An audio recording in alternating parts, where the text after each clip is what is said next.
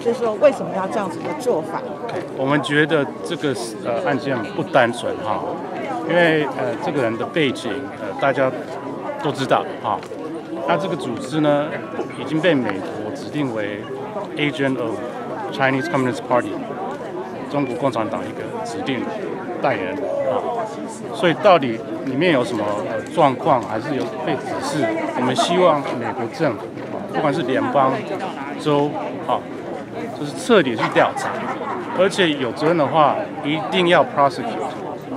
这不是不只是保护台美人的安全，而是全美国人的安全。如果这件事情在这这这么和平的社区发生，那其他的社区有也有可能发生。我们大家都知道，在国际上，中国国产党的那个呃的 influence 太大太大，好，所以我们一定要很积极，要很坚持。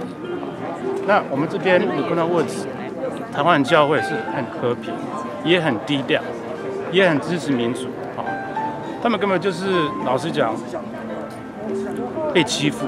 那我们对这件事情觉得很很生气，也很悲伤。所以我们现在可以做的，一定要尽力要做。谢谢。您。